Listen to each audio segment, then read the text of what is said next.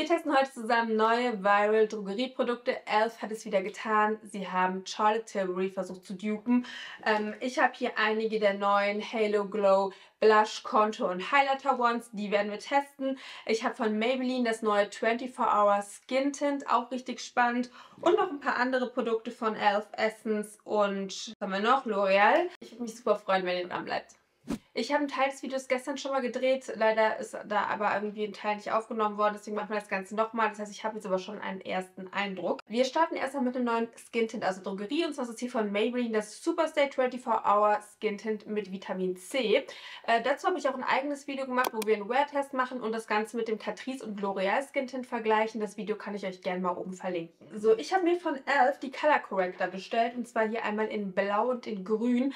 Ich wollte die hauptsächlich dafür haben, um Foundation-Töne so ein bisschen anzugleichen, die nicht so richtig passend für mich sind. Und das gilt hier auch für das ähm, Skin Tint von Maybelline. Der Unterton ist leider nicht gelb-golden genug. Das heißt, ich werde das Ganze jetzt kurz ein bisschen mixen. Ihr seht hier einmal den originalen ungemixten Ton, das ist der Ton 30. Und insgesamt gibt es zwölf Töne in der Linie. Es sind allerdings nicht alle bei DM selber verfügbar, manche muss man dann online bestellen. Ich habe das Skin gestern mit den Fingern aufgegeben. Ich möchte heute mal schauen, wie es mit dem Pinsel funktioniert. Oh ja, das klappt auch sehr gut. Ähm, bei dem L'Oreal Skin beispielsweise, da habe ich das Gefühl, dass es sich nicht so gut einblendet mit dem Pinsel. Aber das Maybelline Skin Tint ist auf jeden Fall noch ein bisschen dünner in der Textur. Und diese Foundation hat leichte Illuminating Pigmente drin, genauso wie die ähm, L'Oreal Skin Tint Foundation. Ähm, ich glaube von Make-up by Mario, die hat das auch. Man ist dann erstmal ein bisschen besorgt, aber wenn man das dann aufs Gesicht aufgibt, dann sieht man das nicht. Es hat halt einfach nur den Effekt, dass wenn Licht drauf scheint, man so einen stärkeren Illuminating Effekt durch diese Schimmerpartikel hat. Pigmente. Whatever.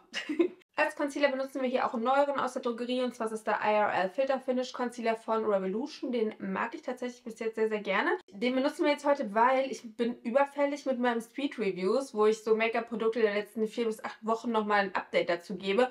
Und deswegen, ja, will ich gucken, dass ich die Produkte jetzt häufiger benutze, um euch da nochmal so einen richtigen guten Eindruck zu geben. Ich habe hier den Ton C8,5. Ich mag den sehr gerne, den Concealer. Er ist ziemlich dünn in der Textur, hat gutes Coverage. Er ist allerdings so ein bisschen auf der trockeneren Seite. Das heißt, wenn man sehr trockene Under Eyes hat, ja, würde ich ihn vielleicht nicht unbedingt empfehlen. Oder man muss halt wirklich schauen, dass man sehr, sehr gut Pflege drunter gibt. So, dann habe ich einige von den neuen Halo Glow Beauty Wands bestellt. Ähm, die sollen wahrscheinlich wieder so ein Dupe sein zu Charlotte Tilbury. So, und die sind fast alle ausverkauft. Ähm, ich konnte jetzt hier noch zwei von den Contour Wands ergattern. Ich habe mir jetzt einmal hier den Ton Fair Light mitgenommen und einmal den Ton Medium Tan. Der eine ist quasi zu hell, der andere zu dunkel, aber ich habe gedacht, wir können die ganz gut mixen. Wir haben hier einmal den Konturton Fairlight. Der ist sehr grau-lila stichig. Und daneben zum Vergleich den Ton Medium Tan. So, das ist jetzt zum Drehen, also nicht wie das Charlotte Tilbury Produkt. Und hier hat man dann diesen kleinen Puff. Man muss da wirklich so ein bisschen aufpassen, wenn man zu viel Produkt rausholt, dann rutscht das quasi runter und dann hat man alles im Deckel hängen. Das ist nicht ganz ideal. So, und ich werde die beiden Töne jetzt auch mischen, weil der Contour Shade ist ein bisschen zu aschig für mich. Ich habe nur gemerkt, dass er für die Nase ganz gut funktioniert. Und der andere Ton ist halt zu dunkel. Deswegen mixen wir die beiden und dann sollte da ein ganz netter Contour slash Bronzing Shade rauskommen. So, das ist jetzt der gemixte Ton hier ganz links. Immer noch eher kühler im Unterton, das heißt, passt auch noch sehr gut zum Konturieren. Und ich benutze hier einen von den äh, Putty Primer Brushes. Die sind wirklich ideal für alle Cream-Produkte, egal ob es jetzt Cream Bronzer, Cream Blush ist oder Cream Highlighter. Kann man natürlich auch für Foundation gut benutzen. Äh, da hatte ich mir jetzt in meiner Elf-Bestellung auch nochmal zwei neue von bestellt. Ich habe auch, glaube ich, schon zwei, also keine Ahnung, aber ich benutze die andauernd für Cream-Produkte. Und deswegen, davon kann man nie genug haben. So, dann wollen wir unser Gesicht mal ein bisschen snatchen.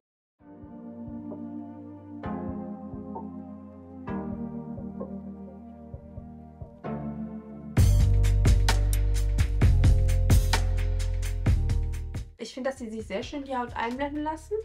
Allerdings muss ich sagen, ich finde, sie sind in der Textur schon anders als die Charlotte Tilbury Contour Ones. Die Charlotte Tilbury Contour Ones haben schon eine sehr spezielle Konsistenz. Also sie sind am Anfang irgendwie cremig und wenn man sie dann in die Haut einblendet, dann bekommen sie ja schon fast so dieses ähm, wässrige, diese wässrige Textur. Und das ist bei denen jetzt hier anders. So, dann von den Blush Ones gibt es, glaube ich, vier oder fünf verschiedene Farben. Es waren leider alle ausverkauft, bis auf den Ton Magic Hour.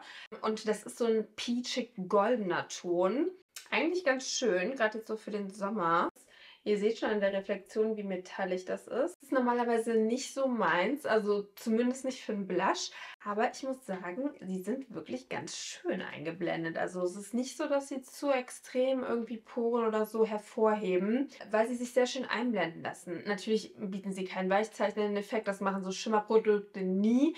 Aber es ist auch nicht so, dass es so ähm, metallisch unvorteilhaft runtertrocknet. Also es lässt sich wirklich schön einblenden.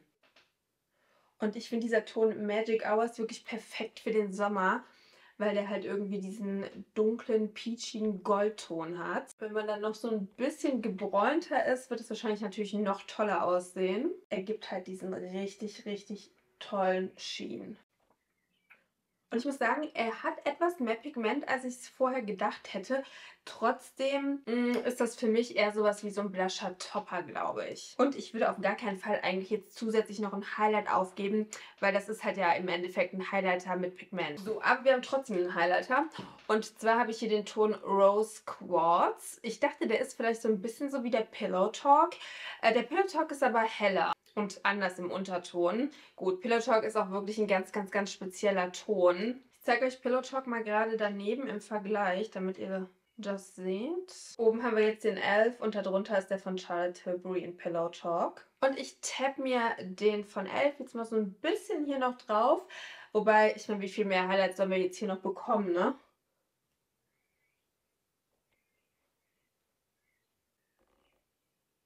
Und ein bisschen auf die Nasenspitze.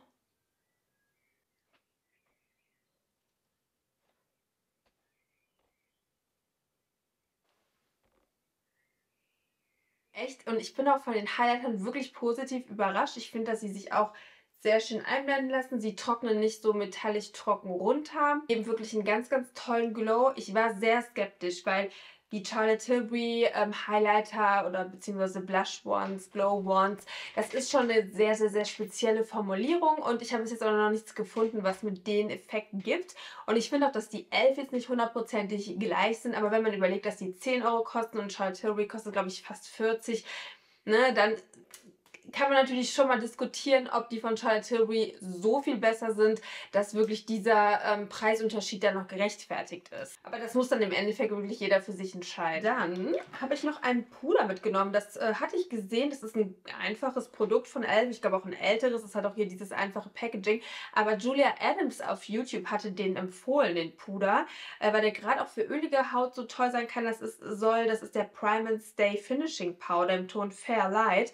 Und den wollte ich jetzt speziell für unter die Augen nehmen und der soll so einen sehr schönen Blurring-Effekt haben, ohne aber irgendwie austrocknend zu sein und auch so ein bisschen wirklich Pigment abgeben.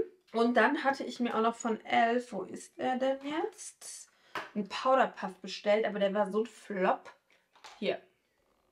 Der soll anscheinend auch viral gegangen sein. Ich habe gedacht, der hätte dieses wunderschöne Material, wie der Elf, äh, Elf wie der Essence Powder Puff und auch der von Tati Beauty hatte. Äh, das sind so ein bisschen längere Fasern, aber der hat dieses Frottee-Material und das ist irgendwie so zu fest. Man kann das nicht so richtig schön anschmiegen und nee, also gefällt mir nicht. Da bevorzuge ich auf jeden Fall hier meine paar Euro Amazon Puffs. Die sind viel softer und die kann ich so richtig schön squishen und richtig schön anpassen. Deswegen benutze ich den jetzt nicht und benutze meinen von Amazon. So, aber erstmal gehe ich nochmal meinen Beauty Blender überall drüber.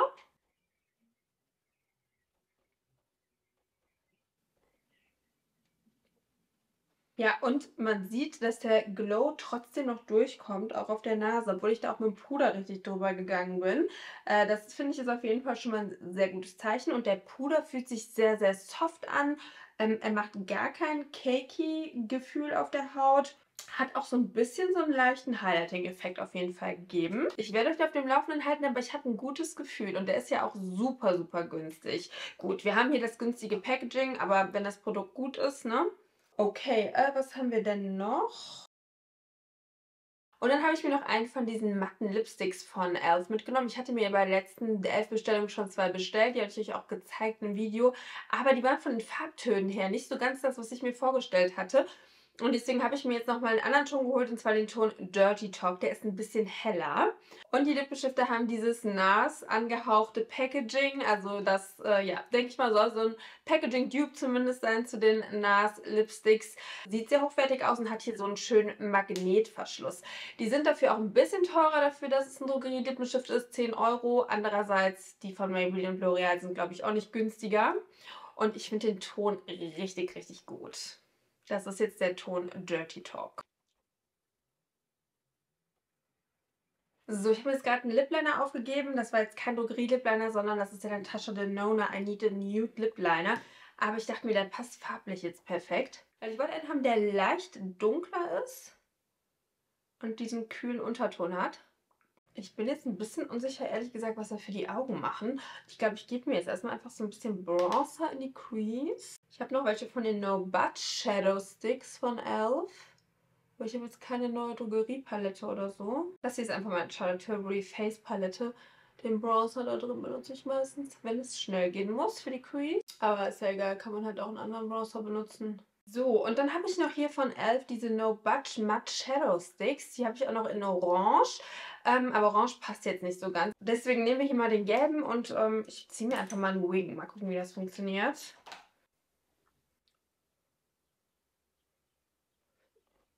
So, ein bisschen rumprobiert. Es funktioniert am besten, sich den Stift einfach direkt aufzugeben, damit man auch wirklich genug von dem Gelb sieht. Und dann verblende ich das Ganze mit so einem Pencil Brush. Ähm, ich habe es auch mit einem Eyeliner-Pinsel versucht, aber das gibt irgendwie zu wenig Pigment ab und man hat nicht so wirklich diesen ähm, neongelben Effekt. Ich mag diese kleinen Neonfarbakzente so für den Sommer oder Frühling ganz gerne. Ich finde es irgendwie ganz cool. Ist natürlich jetzt nichts fürs Büro, würde ich jetzt auch nicht jeden Tag machen oder so, aber just for fun. Und die sind einfach von der Formulierung her aber auch wirklich sehr, sehr gut, diese No Budge Matte Shadow Sticks. Da gibt es ganz viele andere Farben auch noch von. Ich glaube, ihr müsst die auch nicht direkt bei Elf bestellen. Ich meine, die gibt es auch ähm, auf Douglas. Mm, mm, mm, so, von dem Bronzer gebe ich mir noch ein bisschen in die Lower Lash Line. So, und dann als Mascara benutze ich hier den L'Oreal Telescopic Lift Mascara. Den habe ich jetzt seit ein paar Wochen nicht mehr benutzt und ähm, ich hätte ganz gern jetzt schon so ein bisschen mehr Lashes und der macht die Lashes schon ziemlich lang. Deswegen benutzen wir den jetzt heute. Das einzige Blöde da ist halt wirklich, man hat recht viel Transfer. Ich habe gerade vergessen auf Aufnehmen zu drücken. Ich habe mir noch hier ein bisschen von dem Pure Nude Baked Blush von Essence draufgegeben im Ton Pretty Peach, weil ich wollte hier die Farbe noch so ein bisschen intensivieren. Und als Setting Spray haben wir hier eins meiner allerliebsten Drogerie-Setting Sprays für Haltbarkeit. Das Revolution Superfix Superhold Misting Spray kriegt ihr auf jeden Fall bei Zalando oder sonst auf der Revolution-Seite selber. So, fassen wir mal gerade ganz schnell zusammen. Die Stars von heute waren ja auf jeden Fall das brandneue Maybelline Superstay 24-Hour Skin Tint sowie die neuen e.l.f. Halo Glow Beauty Wands. Wie gesagt, das Skin Tint habe ich gestern das erste Mal getragen und ausprobiert mit einem Wear-Test. Ich bin bis jetzt sehr begeistert und ich finde, es hat ähm, dem Catrice und L'Oreal auf jeden Fall ein paar Sachen voraus. Ähm, ja, ich muss es aber natürlich jetzt schon ein bisschen länger testen, auch mit verschiedenen Primern und dann schauen, wie es funktioniert, ob es jetzt wirklich jeden Tag so eine gute Haltbarkeit hat. Die Elf Beauty Ones, also fangen wir mal gerade mit den Contour Ones hier an. Äh, ich finde die Textur sehr schön. Wie gesagt, es ist definitiv eine andere Textur als die Charlotte Tilbury Contour Ones, auf jeden Fall. Das ist gar nicht ähnlich eigentlich. Ähm, es ist halt das ähnliche Konzept. Man hat ähnliches Packaging und es ist halt ein Liquid Bronzer. Genau, ja, die Farbtöne mussten wir jetzt ja zusammen mischen, aber das kann ja auch Vorteile haben. Dann kann man sich das so customizable machen, als wenn man jetzt nur einen Ton hat. Was ich sehr, sehr schön fand, es ist überhaupt nicht fleckig geworden. Also weder gestern noch heute hatte ich da irgendwie ein Problem. Besonders im Stirnbereich bei so Liquid Bronzern muss man da manchmal so ein bisschen aufpassen, das kann schon mal schnell ein bisschen fleckig werden. Auch bei der Charlotte Tilbury Contour Wand kann es schon mal schnell fleckig werden. Und das Problem hatte ich jetzt hier gar nicht. Das hatte ich beispielsweise auch bei der Tarte Contour Wand manchmal, dass das so ein bisschen fleckig wurde. Und das finde ich daran auf jeden Fall sehr, sehr gut. Und was ich außerdem super finde, ist, dass sie die auch matt gelassen haben und nicht irgendwie sehr dewy oder Schimmer reingefügt haben oder so. Dann hier die Blush Ones. Habe ich ja jetzt leider nur einen Ton. Finde den Ton ganz cool für den Sommer. Also ich hatte mir davon weniger versprochen, muss ich ganz ehrlich sagen. Es ist für mich aber trotzdem eher ein Topper.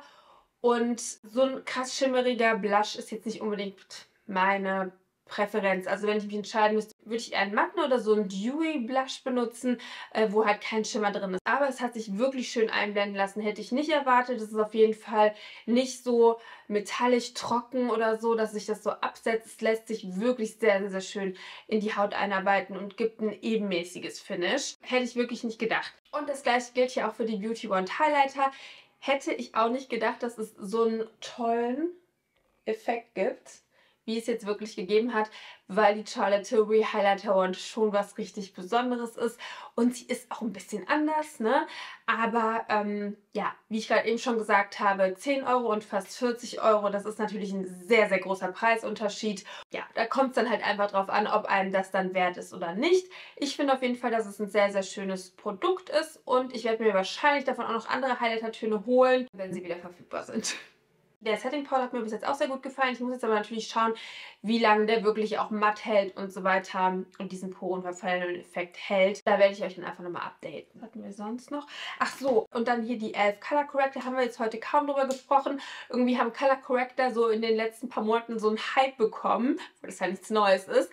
Aber äh, ja, ich finde es ziemlich cool, weil man sich dann halt einfach seine Foundation wirklich anpassen kann, wie man möchte. Oder man kann den natürlich auch sehr gut für Rötungen benutzen. Aber ich habe mir die wirklich insbesondere geholt, um meine Foundation-Töne anzupassen. Habe mir hier letztens auch noch so weiße Custom Drops geholt und da werde ich jetzt alle meine Foundations anpassen, die entweder zu hell sind oder irgendwie einen falschen Unterton oder nicht so einen ganz richtigen Unterton für mich haben. Das kann ich euch auf jeden Fall auch nur empfehlen, bevor man sich da irgendwie zwei, drei Foundation Shades holen muss. Ähm, dann lieber hier die und dann kann man das customizable machen. Ein großes Shoutout auf jeden Fall noch an die Elf Matt Lipsticks. Ich weiß, dass sie schon ein bisschen teurer sind für Drogerie. Wo sind sie denn jetzt? Moment, ich wollte ihn euch auch noch mal zeigen. Äh, insbesondere hier an den Ton Dirty Talk. Ich finde den Ton richtig schön. Ähm, das Packaging ist wirklich High-End. Ne? Dafür ist dann andererseits 10 Euro wieder in Ordnung. Was ich auch sagen muss, ist, dass die Formulierung sehr, sehr angenehm. Es ist so ein Satin Matte Finish. Das heißt, es gibt wirklich keinen austrocknenden Effekt auf den Lippen. Trotzdem hat man ja diesen matten Look, ohne aber dieses austrocknende Gefühl auf den Lippen. Und den gibt es jetzt mittlerweile in richtig, richtig vielen Tönen. Ich glaube, der ist auch in schwarz rausgekommen, habe ich gesehen. Ähm, das lohnt sich vielleicht da mal reinzuschauen, wenn man nach einem Satin matten Lippenstift auf der Suche ist. Alrighty Leute, das war's. Ich danke euch sehr fürs Zuschauen. Bitte lasst mir einen Daumen nach oben da, falls es euch gefallen hat. Damit unterstützt ihr meinen Kanal. Ich freue mich über Feedback wie immer. Und ja, danke euch sehr, dass ihr mit mir hier einfach die Zeit verbracht habt und wünsche euch noch einen wunderschönen Tag. Macht's gut. Mua.